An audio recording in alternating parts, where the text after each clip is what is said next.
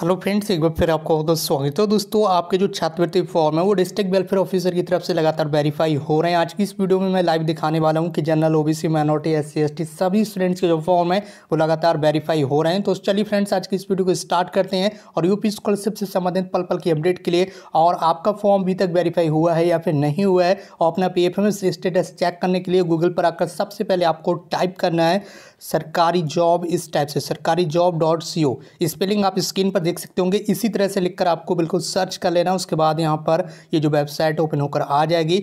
इस वेबसाइट की जो लिंक है आप के सामने स्क्रीन पर आपको देखने के लिए मिल रही है। इसके अलावा इस वेबसाइट की लिंक इस वीडियो के नीचे डिस्क्रिप्शन बॉक्स में भी उपलब्ध करा दी गई है। यदि इस वेबसाइट को ओपन करते समय आपके सामने अलाउ करने का ऑप्शन आता है या फिर ब्लॉक करने का ऑप्शन आता है तो आप उसे अलाउ कर लीजिएगा ताकि इस वेबसाइट को एक्सेस करने में आपको किसी भी तरह की समस्या ना हो, ठीक है? जैसे आप इस वेबसाइट को ओपन कर लेंगे, आपके सामने कुछ इस टाइप से वेबसाइट ओपन होकर आ जाएगी। यहाँ पर आपको सभी भर्ती परीक्षाओं की भी new update, result, admit card सब कुछ मिलेगा। इसके अलावा हम बात कर रहे हैं यूपी स्कॉलरशिप की स्टेटस के बारे में।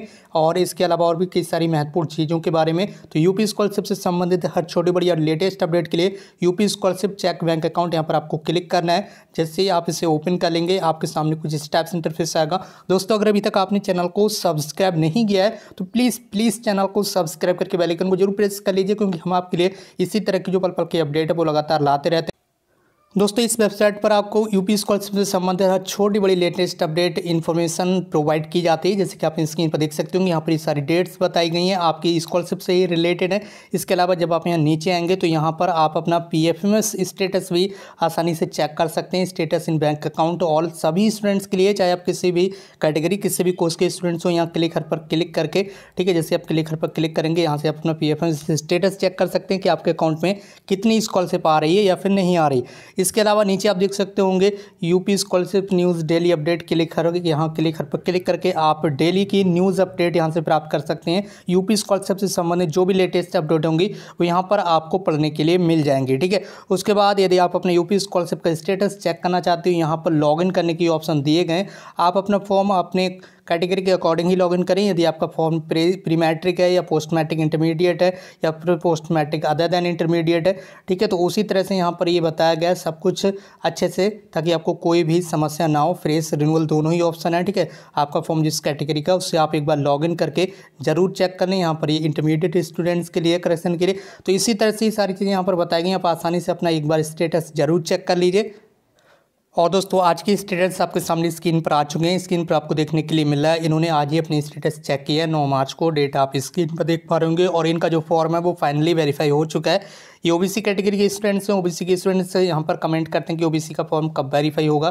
ठीक है तो वो भी यहाँ पर देख लें, ये बीएससी फ़र्स्ट ईयर के स्टूडेंट्स हैं। दोस्तों, अगर अभी तक आपने चैनल को सब्सक्राइब नहीं किया है तो प्लीज़ चैनल को सब्सक्राइब करके बेलाइकन को ज़रूर प्रेस कर लीजिए, क्योंकि हम आपके लिए यूपी स्कॉलरशिप से संबंधित जो पल पल की अपडेट है, वो लगातार लाते रहते हैं। और इनका जो फॉर्म है, वो कल दोपहर में ही वेरीफाई हुआ है और आज अपडेट होकर आ चुका है वेरीफाइड बाई डी डब्ल्यू आठ मार्च दो हज़ार इक्कीस को बारह बजकर बयालीस मिनट पर, यानी कि कल दोपहर में इनका फॉर्म वेरीफाई हुआ है। इसी तरह से कल भी मैंने एक स्टेटस आपको बताया था, जो कि उनका फॉर्म कल सुबह में वेरीफाई हुआ था।